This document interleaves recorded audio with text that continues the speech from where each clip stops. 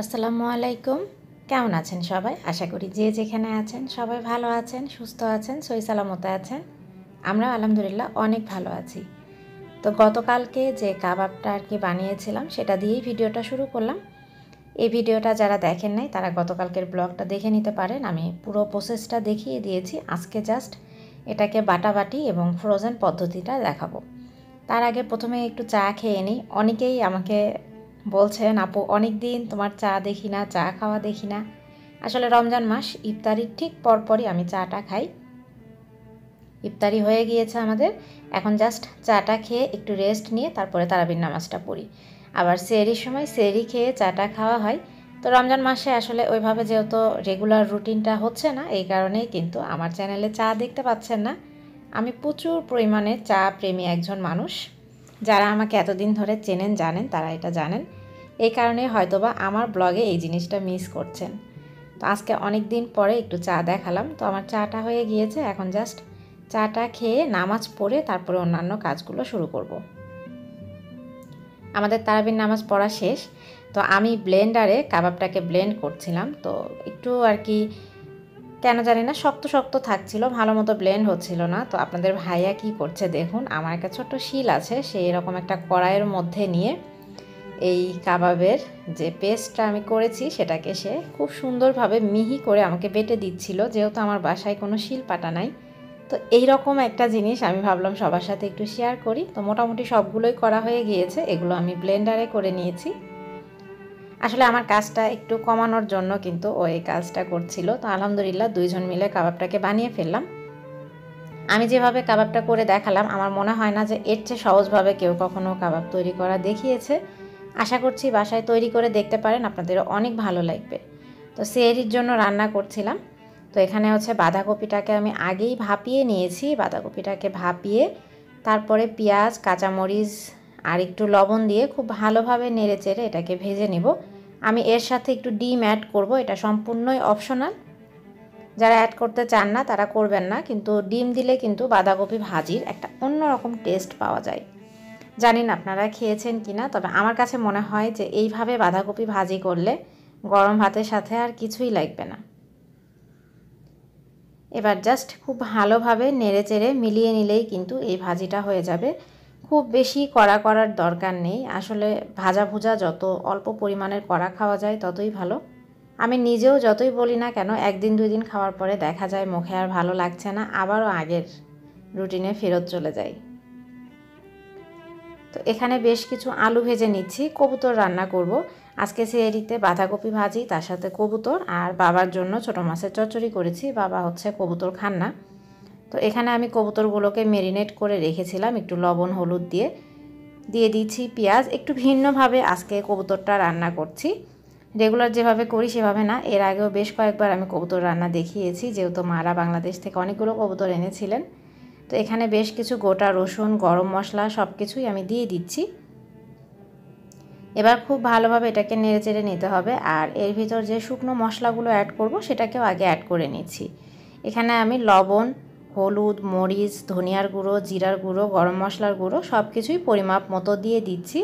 সাধারণত আমরা রেগুলার যে মশলাগুলো খাই, সেই মশলাগুলোকেই আমি অ্যাড করছি। এবার সবগুলো মশলা আমার দেয়া হয়ে গেলে এটাকে খুব ভালোভাবে নেড়ে চেড়ে আলু, কবুতর এবং মশলাগুলোকে মিশিয়ে নিতে হবে। অনেকে চাইলে কিন্তু আগে মশলাটা কষিয়ে নিতে পারেন। আমি সেভাবেও রান্না করে দেখিয়েছি। তো আজকে যেভাবে রান্না করছি, এভাবে রান্না করে দেখতে পারেন। খুবই মজা লাগে। নট অনলি কবুতর, যে কোনো ধরনের মানে মাংসই মুরগি বলেন, গরু বলেন, এভাবে যদি রান্না করেন, অনেক টেস্ট হয় রান্নাটা। তো এবার খুব ভালোভাবে মশলাটাকে নেড়ে চেড়ে কষিয়ে নিচ্ছি। আমি কিন্তু এর ভিতর এখনও কোনো আদা রসুনের বাটা দেই নাই। মশলাগুলোকে কষিয়ে নিয়ে তারপর এর ভিতর আদা রসুনের পেস্টটা অ্যাড করব। অনেকের কাছে কবুতরের নাকি একটা গন্ধ লাগে। এটা শুনেছি, শুধু কবুতর না, পাখি জাতীয় যে কোনো কিছু কোয়েল পাখিরও গন্ধ লাগে। তো এইভাবে যদি রান্না করেন এবং রান্নার আগে যদি একটু মেরিনেট করে রাখেন হলুদ লবণ দিয়ে, তাহলে আশা করছি গন্ধটা লাগবে না। তো এখানে আমি আদা রসুনের পেস্টটা অ্যাড করে দিলাম। এবার আবারও খুব ভালোভাবে নেড়ে চেড়ে কষিয়ে নিতে হবে। এটাকে খুব ভালোভাবে কষাতে হবে। খুব ভালোভাবে যদি কষানো হয়, তাহলে এমনিতেই গন্ধটা চলে যায়। আমার এটা কষানো মোটামুটি হয়ে গিয়েছে, এবার এটাকে পানি দিয়ে ঢাকা দিয়ে রেখে দিব, এরপরে জাস্ট একটু ঝোলটা টেনে গেলেই নামিয়ে ফেলব। অপরদিকে একটু কাস্টার্ড তৈরি করছিলাম, আজকে ইফতারিতে কাস্টার্ড করব, তো কাস্টার্ডের জন্য এখানে আমি এক কেজি দুধ নিয়ে নিয়েছি। আমি এক চামচ পরিমাণ একটু চিনি দিয়ে দিলাম, বড় এই চামচটার এক চামচ। আমরা একটু মিষ্টিটা কমই খাই, এই কারণে মিষ্টিটা একটু কমই দিচ্ছি। আমরা বলতে আমি এবং আপনাদের ভাইয়ার মারা কিন্তু আবার মিষ্টিটা একটু বেশি খান, তো মাদের জন্য আলাদা করে আমি একটু সুগার সিরাপটা অ্যাড করে দিব, এটা হয়ে যাওয়ার পরে। তো এখানে আমি তিনটা ফ্রুটস নিয়ে নিয়েছি, আম, কলা আর হচ্ছে আপেল দিয়ে আজকের কাস্টারটা তৈরি করব। আমি খুবই ঝটপট এবং সহজ উপায়ে এই কাস্টারটা তৈরি করে দেখাবো।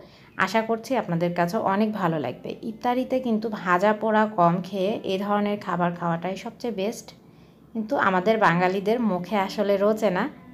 সেই ছোটোবেলা থেকে পেঁয়াজু, বেগুনি এগুলো খেয়েই মানে আমাদের রোজা করা, রোজাটা দেখা নতুন করে আসলে হয় না। তো এই পাশে কবুতরটার ভিতরেও আমি কিন্তু ঝোল দিয়ে দিয়েছি, এটা গা মাখা মাখা হবে। আর কিছুই করতে হবে না, জাস্ট ঝোলটা কমে গেলে গা মাখা মাখা করে নামিয়ে ফেলব, এটা এর মাঝে আমি একবার নেড়ে চেড়ে কষিয়ে নিয়েছি। তো এখানে এই যে কাস্টার্ড পাউডারটা আমি যখন এনেছিলাম, তখন কিন্তু শেয়ার করেছিলাম। এখানে আমি দুই চামচ পরিমাণের কাস্টার্ড পাউডার নিয়ে নিচ্ছি। আমি আগেই বলেছি, আমি এক কেজি দুধ দিয়ে কাস্টার্ড করছি। এক কেজি দুধে দুই টেবিল চামচ পরিমাণ কাস্টার্ড পাউডারই কিন্তু যথেষ্ট। এর সাথে আমি দিয়ে দিচ্ছি গুঁড়ো দুধ। গুঁড়ো দুধটা সম্পূর্ণই অপশনাল কিন্তু টেস্টটা যদি একটু ভালো এবং ডিফারেন্ট পেতে চান, তাহলে গুঁড়ো দুধটা অবশ্যই অ্যাড করবেন। এবার আর কিছুই করতে হবে না। শুকনো উপকরণগুলোকে একসাথে মিশিয়ে একটু একটু করে ঠান্ডা পানি দিয়ে খুব সুন্দর করে একটা পেস্ট তৈরি করে নিতে হবে। এই ক্ষেত্রে কখনোই গরম পানি ব্যবহার করবেন না। গরম পানি ব্যবহার করলে এটা কিন্তু দলা লেগে যাবে। এটাকে দলা ছাড়ানোটা অনেক কঠিন হয়ে যাবে। তো এবার আমি আস্তে আস্তে করে এই মিশ্রণটা দিয়ে দিব এবং আমি একটা ছাঁকনির সাহায্যে ছেঁকে নিচ্ছি। এটা ছেঁকে না দিলে কিন্তু দেখা যাবে যে এই গুটি গুটিগুলো পরে দেখতে বা খেতেও খারাপ লাগবে। তো আমার বাটিতে একটু রয়ে গিয়েছে, ওটা আবার পরে একটু দুধ দিয়ে ধুয়ে দিয়ে দিব আমি। তো এবার ভালোভাবে এটাকে নেড়ে চেড়ে নিতে হবে। এটা কিন্তু খুব বেশিক্ষণ রান্না করতে হবে না জাস্ট একটা বলক চলে আসলেই নামিয়ে ফ্রিজে রেখে ঠান্ডা করে নিব আমি। দেখতেই পাচ্ছেন, খুব সুন্দর মতো একটা বলক চলে এসেছে এবং আমি একটু কাছ থেকে দেখাই যে এটার ঘনত্বটা কতটা সুন্দর হয়েছে। এর চেয়ে বেশি ঘন করা যাবে না, এর চেয়ে বেশি ঘন করলে কিন্তু যখন কাস্টারটা তৈরি করা হবে তখন এটাকে দলা দলা লেগে যাবে। তো আমি একটু এটা কাছ থেকে দেখাই যে এটা এইরকম ঘনত্বই আলহামদুলিল্লাহ, একদম পারফেক্ট তো এবার আমি যে কাবাবগুলো গতকাল করেছি, সেগুলোকে বানিয়ে রাখব। এগুলোকে আমি নর্মাল ফ্রিজে রেখে দিয়েছিলাম। ফ্রিজে রাখার কারণ একটাই, তাহলে একটু শক্ত হবে, বানাতে খুব সুবিধা হবে। আমার এটাকে বানাতে কত কিছু যে ব্যবহার করতে হয়েছে, আপনাদের ভাইয়া শিল দিয়ে করেছে, আমি আবার ব্লেন্ডার দিয়ে করেছি। আসলে একটু পাটা হলে কিন্তু এই কাবাবের পেস্টটা খুব সহজভাবে করে নেওয়া যায়। তা আমি একটু হাতে তেল মাখিয়ে নিয়েছি। এবার জাস্ট অল্প অল্প করে নিয়ে এভাবে হাতের তালু দিয়ে কিন্তু বানিয়ে নিচ্ছি। আমি যেহেতু সংরক্ষণ করব, সেহেতু আমি কোনো ডিম অ্যাড করি নাই। যদি ইনস্ট্যান্ট খেতে চান সেই ক্ষেত্রে কিন্তু ডিমের কুসুমটা অ্যাড করতে পারেন। আর আমারটা যেহেতু একটু নরমই আমি রেখেছি, সেহেতু এর ভিতর আর কিছুই অ্যাড করতে হবে না। জাস্ট এভাবে একটু হাতের তালুতে নিয়ে চেপে চেপে বানালেই কিন্তু হয়ে যাবে। এই স্বামী কাবাবটা কিন্তু আমরা কম বেশি সবাই পছন্দ করি। আমিও তার ব্যতিক্রম না, আমার ফ্যামিলির লোকজনও সবাই খুব পছন্দ করেন। তো এই কারণে একটু বেশি করে বানিয়ে নেয় এবং ইফতারিও যেহেতু দিব, আমি একটু আস্তে আস্তে আয়োজনগুলো করছি। গতকালকেও বলেছি শরীরটা ভালো না, একবারে বেশি কিছু করতে পারছি না। তো এইখানে হচ্ছে সবগুলো আমার বানানো হয়ে গিয়েছে, এবার একটু বক্সে বক্সে করে এগুলোকে সংরক্ষণ করব। তো এগুলো ডিপে রেখে শক্ত করে তারপরে আমি জিপলকে করে রেখে দিব। এবার কাস্টারটা তৈরি করে নিই। এখানে আমি আম, কলা এবং আপেলটা কেটে নিয়েছি। সবগুলোকে একসাথে মিশিয়ে নিচ্ছি। যারা অন্যান্য ফ্রুটস খেতে চান, তারা অন্যান্য ফ্রুটস অ্যাড করতে পারেন। তো আমি আজকে এই তিনটা দিয়েই করছি। এবার জাস্ট দিয়ে দিচ্ছি। তো এই দুটা মা আর বাবার, এগুলোতে আমি একটু সুগার সিরাপ অ্যাড করে দিয়েছি। আর আমাদেরটা বানিয়ে ফ্রিজে রেখেছিলাম। মারা ঠান্ডা খাবেন না, এই কারণে বাইরেই রেখেছিলাম। তো আমাদের মানে আমার আর আপনাদের ভাইয়ারটা আমি এখানে দিয়ে নিচ্ছি। আমি দুইটা বাটিতে দিয়ে দিলাম। এবার জাস্ট ফ্রুটসটা অ্যাড করে দিব। এই কাস্টার্ডটা কিন্তু তৈরি করা খুবই সহজ বাট খেতে কিন্তু অনেক মজা। বাচ্চাদের জন্য খুবই হেলদি একটা খাবার। যদিও আমার রুফায়দা আজকে খাবে না, সে একটু আগেই খাবার খেয়েছে, তো এই কারণে খেতে চাচ্ছে না। ওকে পরে এক সময় করে দিব। তো এখানে আমাদেরটাও আমি দিয়ে নিচ্ছি। জাস্ট ফ্রুটসগুলোকে অ্যাড করে দিলেই হয়ে যাবে। একটু এলোমেলো করে মাখিয়ে নিলেই কিন্তু এটা রেডি আমি এখন দেখার সৌন্দর্যের জন্য কিন্তু মাখছি না, আর কাস্টারটা যত ঠান্ডা হয় ততই কিন্তু খেতে ভালো লাগে। আমি একটু সুন্দরভাবে দেখানোর জন্য আমার সেই গাছটাকে একটু কাছে নিয়ে আসলাম। আমার কাছে খুবই ভালো লাগে এভাবে সুন্দর করে খাবার পরিবেশন করতে। তো আমি ওপর দিয়ে একটু একটু করে দিয়ে দিচ্ছি। আমার সবগুলো রেডি এবার আমরা ইফতারিটা করে নিব।